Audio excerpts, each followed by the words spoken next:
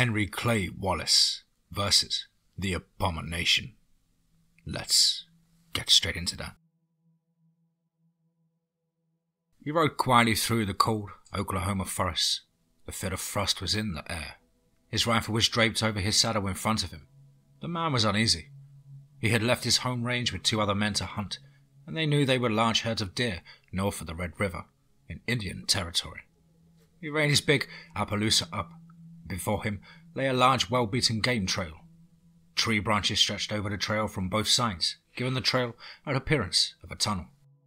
Wallace reached over and stroked the big horse's neck. The horse didn't like this, and neither did Henry Clay. Sitting there, he was sure he heard movement moving stealthily towards him, coming from the tunnel. Reins in hand, he backed the big horse back. The horse had no intention of standing in front of that haunted entrance. If something or someone was moving towards them, he wanted to be ready. Ray Tyler had shot and killed a nice big mule deer. He spent most of the morning dressing it out, watching for black bears, wolves, and cougars. Now he had all the meat and their hide loaded. But he felt watched. Had it been any of the native peoples, well, they would have made themselves known and probably would have offered help for part of the meat. But he saw nor heard anyone. Neil Wilson sat in camp tending a fire and looking after all their gear. He heard the one rifle shot, but had heard no more. He fed the fire and stayed close. A year had passed since his belief system had been shattered on Sacred Baby Mountain.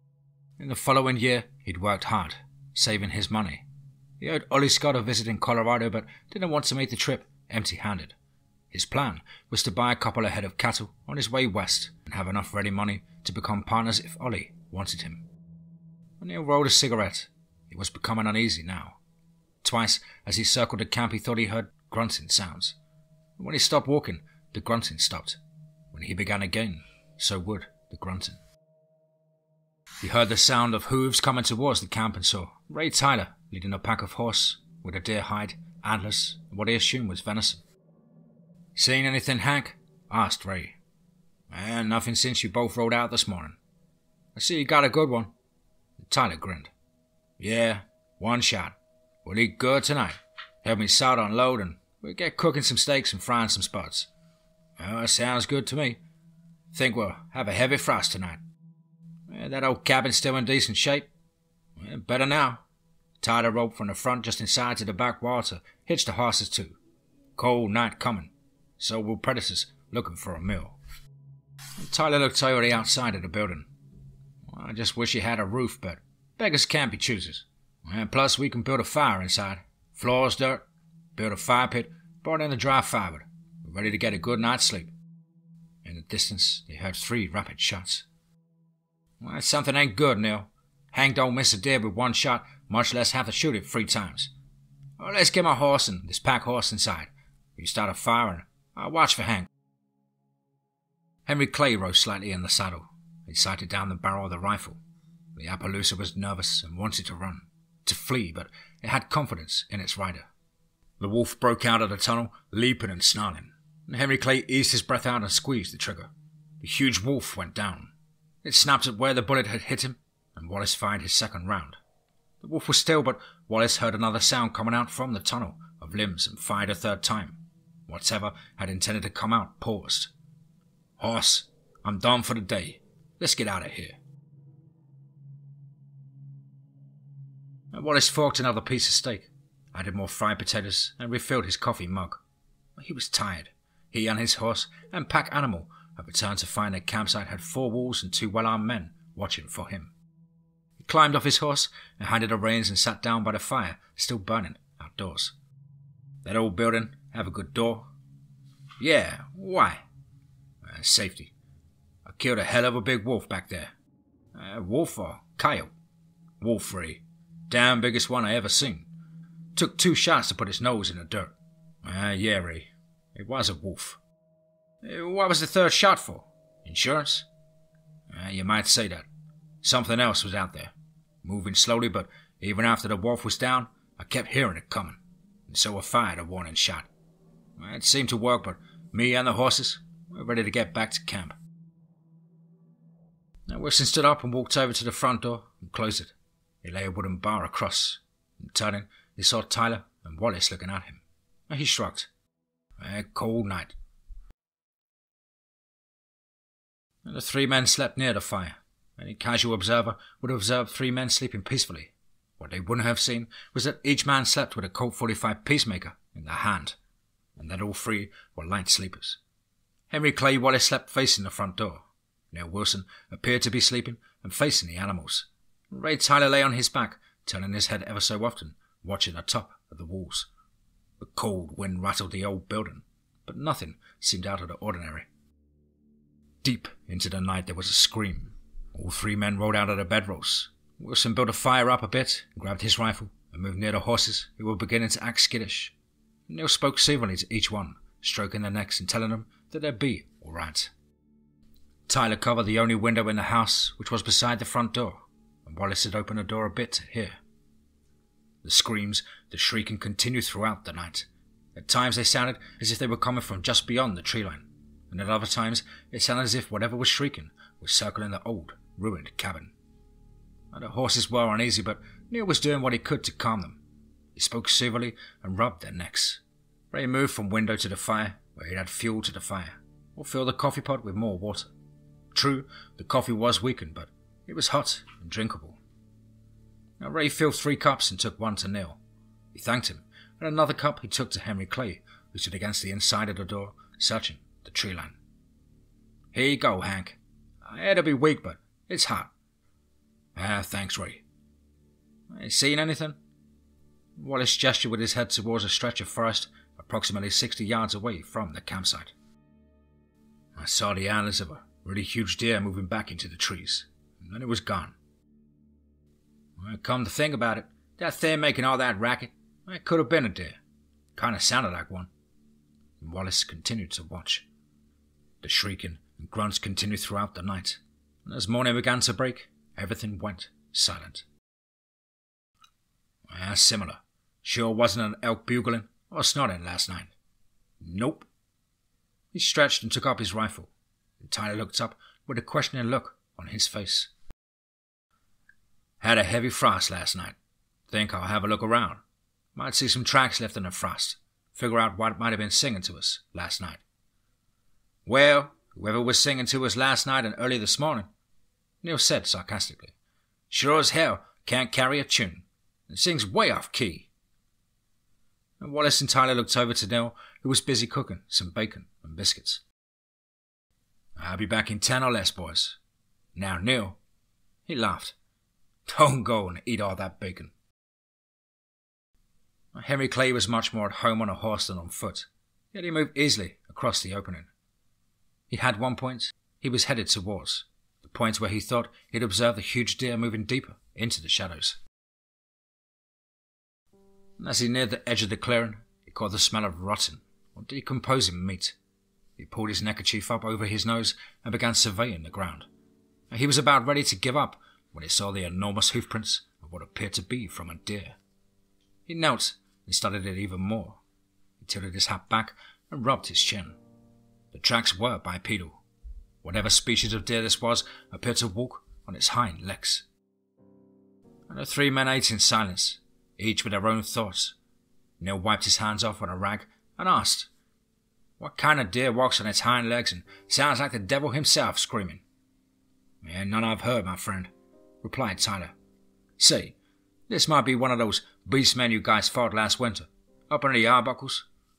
No, Wallace said. These were hooves. The Hatakofi, as we were told they were called, or their feet look a lot like ours, only larger. Ah, Western, Arizona or New Mexico, the Indians have witches they call skinwalkers, who can become monsters, said Tyler. Maybe one of them found their way into these mountains and we mistakenly entered their perceived territory. It's a thought. Wallace finished his biscuits and bacon. And He sipped on his coffee. That's something to think about. I'm tired. We can either not hunt this morning or get some rest, or we can cut some saplings and make this place a bit better, more secure, and hunt tomorrow. Neil stood up, checked his handgun, and picked up the axe. Well, let's get busy.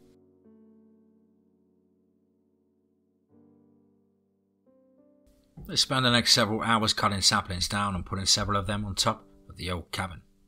Firewood was gathered, and the only window in the cabin was covered halfway with wood and a piece of an old burlap sack. If the creature returned on this night, it would be met with gunfire. Late in the afternoon, as they lounged by the fire, they heard the sounds of an old man admonishing someone to hurry. They listened as he was telling whoever he was talking to that he knew of an abandoned cabin. It had a decent door and four walls, and they'd be safe there. Wallace stepped to the door and greeted the old man and a youngster who couldn't have been any older than twelve or thirteen. The old man was startled and started to raise his rifle. Wallace held the palms of his hands up to show he meant no harm. Ah, easy, old timer. We're friendly. Just here to do some hunting. Is this your cabin? No, I just knew it was here. Me and my grandson here. Uh, this is Kevin. We hope to hold up here tonight for sure. Well, you still can. Come in. Neil's brought in venison steak, and we got some potatoes, bacon, and the coals. Coffee, and plenty of firewood. The old man looked around. He was looking. Finally, he accepted the invitation and rushed the boy inside the cabin. And he noticed the partial roof. Y'all did that? Yes, sir. You covered the window? Uh huh. You men well armed? You may need to be. Uh, we are. What are you running from, old man? A devil. Well, we heard it night before last. Sounded like a woman screaming bloody murder. Then it started making sounds like a deer in a rut. Next morning, our pack horses were dead. No wounds, but looked like something had sucked all the soft organs out and just left the outside of the body intact. So, you headed here? I gotta take care of my grandson. You understand. Well, I understand, but whatever was after you and the boy a couple of nights ago, I was here last night. Did you? Did you get a look at it? No. I did see his tracks this morning. Strange. Really large hooves. Ah. The old man sighed and took his pipe out, filled it, and asked for more coffee. This afternoon you, you told me your name was Wallace. Any relation to Henry Clay Wallace? Eh, the gunfighter. I am Henry Clay Wallace. Is it true you fought the Hatakafee last year in these parts? In the Arbuckles. Neil there was with me. Why? What's this got to do with those creatures? I just wanted to find out if you still got an open mind and enough sand to deal with this. Well, if you know something, old man, uh, you need to tell Hank, Neil, and me said Ray Tyler. I know what it might be, but I'm reluctant to talk about it in front of the boy. When he goes to sleep, we'll talk more. Wallace checked the door's bar and eased down next to the fire. It burned no lamp this night. The wind howled like lost souls. Neil wrapped a blanket around himself and listened. There were dark, heavy clouds overhead. The makeshift roof covered most of the room. Once in a while, a coyote voiced his loneliness. Wallace rubbed his eyes. He was tired, weary, and curious. He knew he needed sleep, but he wanted more answers. You said your name was Samuels? Right, Frank Samuels, from Alabama. Ah, I used to know a family in Clay County, Missouri, named Samuels. No relation, I suppose. Jesse and Frank are first cousins, Mr. Wallace. Tyler took a sip of coffee and looked thoughtfully at the old man. Jesse and Frank? You talking about the James brothers? Uh, yes. But we don't want no trouble. Uh, you won't have no trouble from us, Wallace replied. We're just here to hunt deer and maybe a buffalo. We find one. Uh, were you supposed to meet up with them up here somewhere? Nope. We just wanted a fresh start. Kevin's parents died in a fire. I'm his grandfather, but I thought the boy needed a new beginning. A, a fresh start. I brought him up here to hunt and trap. And in that thing, I came along. Grandpa? The boy said sleepily. Grandpa, is it all right if I go to sleep now? Sure, son. You get some sleep. I'm going to spell Mr. Wallace. He looks beat. I am, Ray. You give Mr. Samuels a hand. Wake me and Neil in three hours and we'll take over. Right. Uh, what if that thing comes back squalling and shrieking again? Want me to try and kill it? Just wake us up. Let the boy sleep. In just a few minutes, Wallace was asleep. Wallace was awakened by Ray Tyler, Neil was already making some fresh coffee. The fire felt good. It was extremely cold. Sam was bedded down next to the boy, but he was awake. Anything, Ray?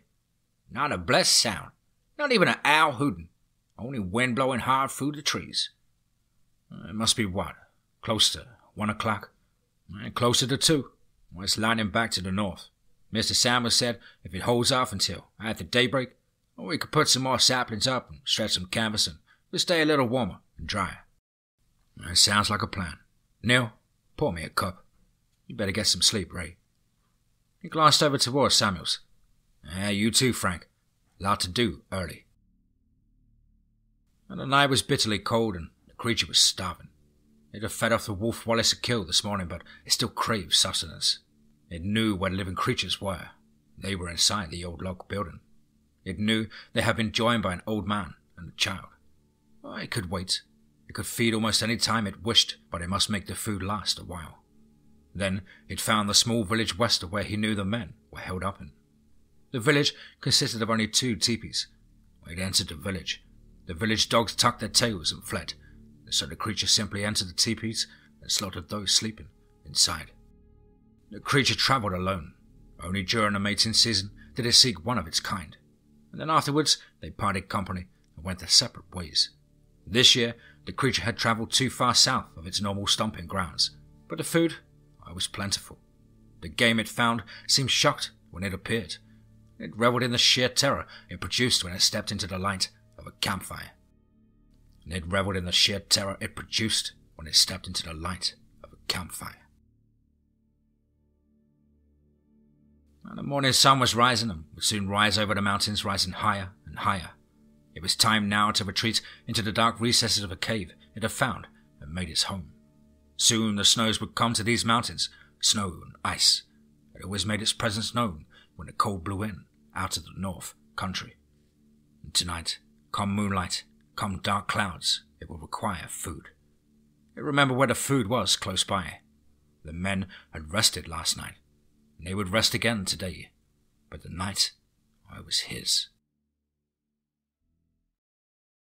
Henry Clay shot and killed a nice eight point early that afternoon. He was nowhere near the spooky tunnel-like area where he'd killed the wolf, and he was field dressing a deer when he heard the ponies coming towards him. The Indians. He continued to dress the deer and kept his eyes on the riders. He didn't anticipate trouble, but with some men, well, he never knew. There were four in a party. Each carried a Sharps 50 cal. The man in the lead reined his pony up and looked the deer over. Halito, brothers. You speak our language, Henry Clay Wallace? No, only a greeting. How do you know who I am? We know many things. Nice deer. Yes. Are you hunting? In a way. We seek a creature who kills for pleasure, takes the soft internal organs and leaves no marks. our camp is a few miles north of here. The skies are darkening with the approach of a storm, or icy weather. Would you and your friends care to shadow with us? We have nothing to offer. Oh, you have those Sharps. One old man in the camp has one. They and your friends may come in handy. The Choctaw brave looked down at Wallace. You've seen it? I saw something, but I found tracks like theirs only much larger. And this creature, it walks on two legs. And the Choctaw braves began to talk back and forth. He understood English, and he knew Wallace was no great speaker of their language. The man Wallace had been speaking to said something, and they all dismounted and began helping to skin and dress the deer. Occasionally, one would look towards the sky, say something, and they would work faster. And soon they were finished. And Wallace's pack animal was loaded, and they followed him back to camp.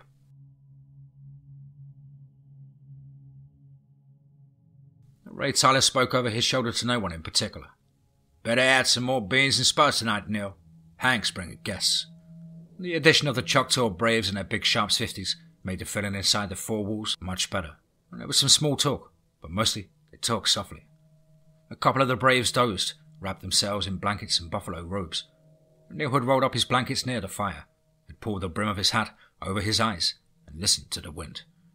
Frank Samuels filled and lit his pipe, and his grandson slept quietly. Frank, do you know what this thing is? It's killing folks, trying to draw us out. Had the head of a deer, huge antlers, moves on hind legs. It's tall, maybe seven or eight feet. Leaves hoofprints that look like a giant deer. I don't know what the name is they put on it. If it is what I think it is, that's way out of its regular stomping grounds. I'd like to know, and so would the rest of us. The old man took a deep draw on his pipe. Lightning flashed across the sky, and there was a roar unlike anything one could imagine, and every man was on his feet. The boy struggled out from under his covers and looked at his grandfather. Frank, uh, up north, near the Canadian border, they call these things Wendigo. Oh, they're man eaters. Supposed to be supernatural. Ray spit tobacco juice on the cold dirt floor. Ah, supernatural my ass. If they kill to eat, they're not some kind of haint. The leader of the Choctaw Braves, a man called Dogkiller, nodded in agreement. I agree. If he needs food, it is flesh and blood and can be killed. Hanks, Neil asked, you see anything? I watched the edge of the woodline near that huge elm tree. Next flash of light, there! The creature stood just to the left of the huge elm. Oh, it was horrible. While Wallace had estimated it to stand seven to eight feet tall, it was plain to see it was well over ten foot tall. Long, sparsely covered arms hung down towards what had to be knees. The thing's hands were as large as metal plates they had eaten off of, with long fingers ended in claws that looked like long hunting knives. It was a light grey colour, its head was that of a large deer, the difference being it possessed a mouthful of razor sharp teeth. Adorning the top of this creature's head was a large set of very large and sharp antlers. Kill it, Hank! came the voice of Neil Wilson. Kill it or it's going to kill some of us! Without hesitation, Wallace stepped quickly out of the doorway, lifted his rifle, and fired. One shot and he knew it hit the creature. It rotated and bit at its right shoulder. Wallace fired a second round and heard his bullet slam into the midsection of the creature. It only angered it more. Frank Samuel shouldered Wallace aside and fired the sharps as the Wendigo began an awkward advance towards the cabin. The 50 caliber slammed into the creature and forced it backwards a step or two. And its screams, Tyler said later, sounded like a banshee, all liquored up. Yet surprisingly, it continued to advance. The Choctaw all fired their sharps 50s, and they too forced the creature back. Neil and Ray poured lead into the creature with their Winchesters. Nothing was stopping the creature. Lightning flashed again and thunder rolled across the mountain. Nothing had appeared would stop this, this creature from frozen hell. Rifles were reloaded, more shots were fired, and eventually the creature was forced back to the tree line where it disappeared into the primal forest. All the men were sat silent, Nothing in their backgrounds had prepared them for what just happened. Hank, when you fought those beastmen? And Dogkiller interjected. Attack, Orphe. Yeah, what he said. Did it take this much or more to kill them? And Wallace was quiet, he shook his head. No. You got any idea how we killed this abomination? Well, Ray, we heard it. It's gotta be losing blood. I think it'll go wherever its is and try to recover. Uh, give us a chance to get out alive. Uh, you, Neil, y'all pack up and head south in the morning. Take Frank and Kevin with you. I'll stay and help Dogkiller and his braves track this thing down and finish it off. I'm not going, a quiet voice replied. And neither is my Gramps. We're gonna stay here and help kill that monster. No, I'm not leaving either, Hank. Nor I suspect will Ray. And Neil's right. I ain't leaving anyone behind. And Samuel spoke up. Oh, you boys ride for the brand. I like that. I'm proud to ride the river with y'all. You got any ideas, Wallace? That's simple. We track it to its lair. We light torches, go inside, find it, and pour more lead into it. And then we burn the damn thing. Eh, what if there's another one? And we kill it too. Well, There was plenty of blood on the ground and on the back of the trees. The thing's tracks led them for a few miles into an area with large rocky outcroppings. And Kevin found a track leading into a cave. This had to be the creature's lair. The hunters made torches, doused them in coal oil, and lit them. Neil lit an oil burning lantern, and they entered the cave. The stench was near overpowering. Wallace led the way. Approximately fifty yards in, they rounded a bend and saw the creature on its knees, taking a ragged breath of air. It turned to face the men, but was unable to rise to its feet and attack. Wallace motioned Dogkiller to join him, and the Choctaw had no need for explanation. Wallace said everyone should plug their ears. The single shot from the sharps entered the base of the creature's head, and it uttered a final shriek and collapsed. Kevin, give me your lantern, said Wallace. He stepped up to the still body and poured the oil over it, and took a torch and ignited it. Flames shot up. And the smell of burning flesh, oh, it was horrible. Samuels led his grandson out, and Dogkiller's braves brought more wood in to finish the cremating of the body. Wallace walked out to take a breath of cold, fresh air. The legend of Henry Clay Wallace reads like an adventure. Gun-fighting cattleman, hunter, and monster killer. Some say he had nothing to do with the destruction of a Wendigo. Others say he was. He wouldn't have cared if anyone ever believed him. What is important is, do you believe?